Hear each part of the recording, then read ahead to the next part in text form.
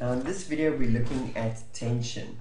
Now tension can simply be understood as the force exerted by a rope or a string or a wire. What you may also think of is that it's the force that exists inside of the string, the rope or the wire.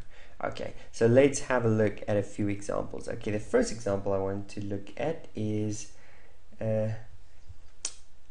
apple hanging in a tree. Okay, so there's an apple hanging in a tree. And one thing that you'll notice about this apple is that it is stationary. It is not moving at all, which means that it is connected to a branch. Okay, and since it is connected to a branch, it is not falling. If it's not falling, it means its acceleration is equal to zero. Okay, no acceleration. Now, what are the forces that are acting on the apple? Or what is the force that is being exerted by the string? In this case, it's the actual stem of the apple is the string that we are looking at, that actual stem. What is the force that it exerts on the apple? Well, let's just look at the point where it's connected okay, at that point. What are all the forces acting on that point? Well, we know that there's definitely a downwards force because of the weight of the apple. Okay, so let's say the apple weighs one newtons. Now, it's not falling, which means that this one newtons is being almost contradicted. Uh, there's a opposite force of the same magnitude but in the opposite direction. Okay, and that is the force that is being exerted by the stem. So this would be the tension in the stem, and that tension would equal 1 newtons, simply in the opposite direction of the weight. Okay, so that's a very simple example. So let's increase our the difficulty of our example. So imagine someone pulling on a rope. Here we have someone pulling very hard on a rope. Okay.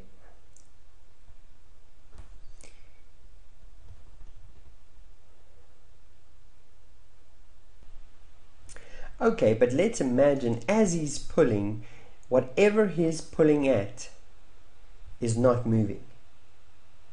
Okay, so in other words, the point where it is connected to some object, let's imagine he is trying to pull a massive rock.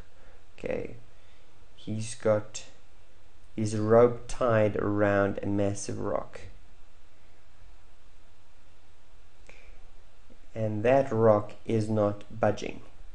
Okay, what is the tension in this rope? So all we need to do is consider the point where it is connected there it is connected and asking ourselves what forces are being applied at that point. Okay so let's say he's pulling at a massive um, 700 newtons. Okay he's putting 700 newtons of force into this pull.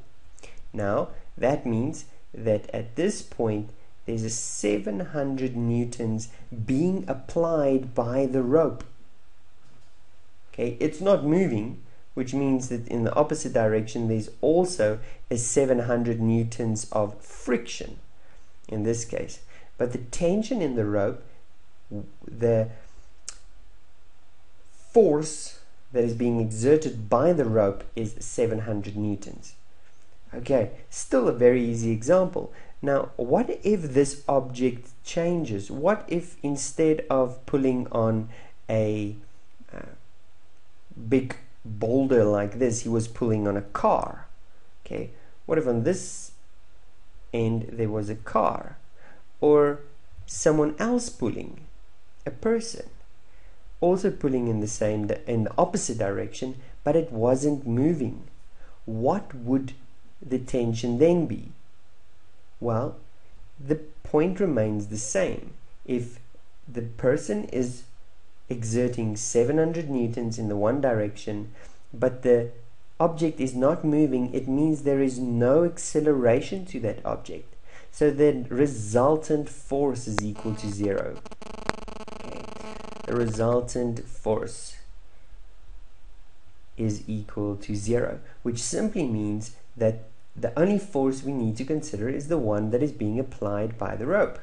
Okay, so let's look at an example where things are actually not as simple, where we actually have acceleration. A very good example of that is an elevator. Okay, a very common example of this is elevators.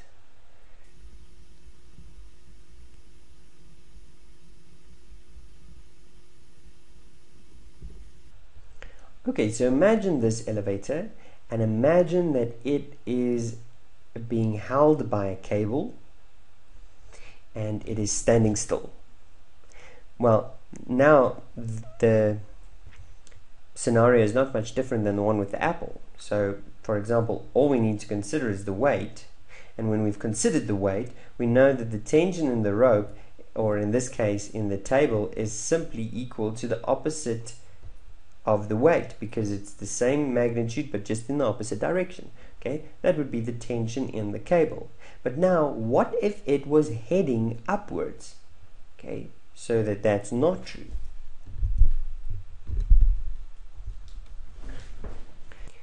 Let's assume it has an acceleration that is upwards.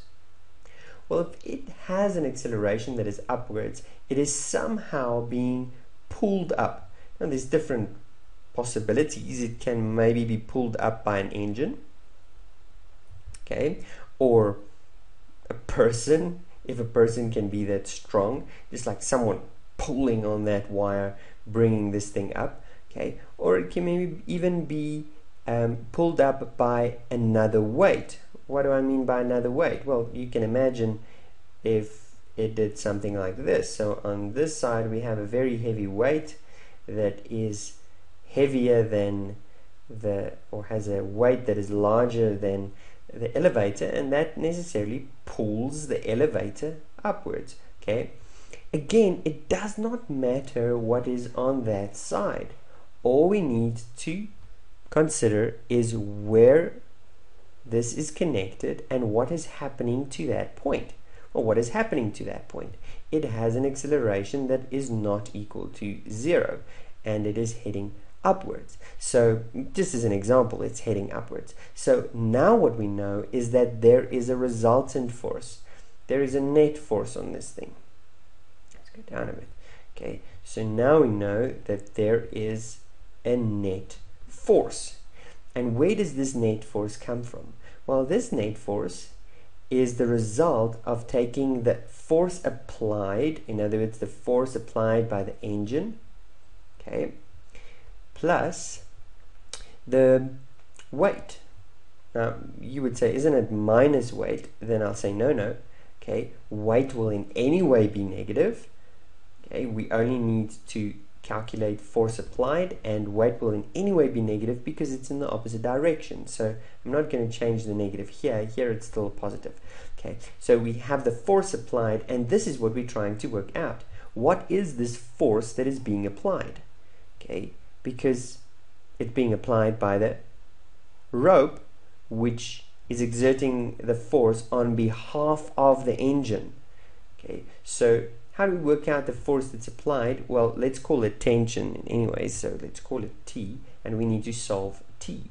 Now T will be equal to the net force minus the weight. So I subtracted weight on both sides. Okay how do we calculate the net force well, from um, Newton's second law, we know that the net force is mass times acceleration. Okay, so the mass of the elevator and its occupants times the acceleration that it is experiencing upwards in our example. Okay, minus the weight. Now, how do we calculate weight? Well, weight is simply mass times gravity. Okay, gravitational acceleration. Now, with that in mind, we can simplify this a little bit. So we can say it is mass times acceleration minus gravity. And what I want us to do is just to look at this formula um, briefly. So we have the formula that tension is equal to acceleration times the sorry, and not acceleration, the mass times the acceleration minus the gravitational constant, okay, or gravitational acceleration. So we said that acceleration is upwards, just for the example, but we're going to look at both scenarios just now. What I want you to notice is that here we have two vectors that's being subtracted. We have the upward acceleration and we have the downwards gravitational acceleration but we are subtracting vectors. Now what do we do when we subtract vectors? Well, we take the first one just as it is, okay? Now we subtract the gravitational acceleration. So whatever that gravitational acceleration is, is being subtracted. But what do we do when we subtract a vector? We turn it around, okay, and add it. So now we have our acceleration that was upwards plus, and now you see we turn this one around. Now they're both in the same direction because I subtracted it. So what happens? Okay, put them head to tail. So if I put them head to tail, I'll put this one at that one's tail. This one's head at that one's tail. So I have that one's head, that one's tail. And now my result is this. Okay, that's my result. And if I multiply this result with the mass, I get my tension. So what did you see? What happened to the tension? Well, the tension is now quite large because acceleration upwards is in the opposite direction of the gravitational acceleration downwards which I hope you can conclude with me that when something is being pulled up with an acceleration, if something is being pulled up with an acceleration, the tension in the cable will be more than when it's just at rest. Okay, it should make a little bit intuitive sense. So, if we were to look at an example with values in, if I was accelerating upwards at 2 meters per second and just for to make this simple our downward gravitational acceleration was 10 meters per second squared sorry that should also be squared and the mass was um, let's say 10,000 newtons more or less um, probable for a uh, elevator then what would the tension be well tension will be mass times acceleration minus gravitational acceleration. Now let's take upwards as positive, so that must be negative. So we take mass is 10,000, acceleration is upwards at 2, gravitation is now minus, and it's negative negative, that's why it changes direction, negative 10. So what do we get? We get 2 minus minus 10 becomes plus 10, that would be 12 times 10,000 gives me 120,000 newtons. Okay, that is now the tension in the cable. And as you can see, it's much more than it would have been if we were simply holding this cable. If it was, well, not much more. If we were simply keeping the elevator at a constant level or a constant acceleration, uh, sorry, a constant velocity, uh, there would have been no acceleration and this would have simply been t is equal to 10,000 times 10 which would have been 100,000 okay but because we want to accelerate upwards we need that additional tension in that rope to actually cause the upwards uh, acceleration okay how about if it was now heading downwards so in other words if my acceleration let's look at the acceleration being um, 2 meters per second squared, but downwards. So now I'm traveling downwards. So let's take downwards as pos positive. Then gravitational constant is also allowed to be positive. So if downwards is positive, okay, what do we have? We worked out the tension in this um, up and downward moving um, scenario is equal to mass times acceleration minus gravitational acceleration, where mass is equal to 10,000 okay acceleration is equal to 2 gravitational acceleration is equal to 10 So I get that 2 minus 10 is equal to 80,000. Okay, 2 minus 10 is equal to negative 8 times 10,000 is negative 80,000. Why negative? Because the cable is exerting an upward force. Okay, to avoid this thing from falling down. It's trying to counter the fall um, and only let it down at a slower acceleration. So this is what we get. Negative 10,000, obviously also newtons because it's a force. Okay, negative 80,000 is the tension exerted by that cable. Well, I hope I didn't completely confuse you, but actually um, that you have a good, fair idea of what tension is. We'll see you in the next video.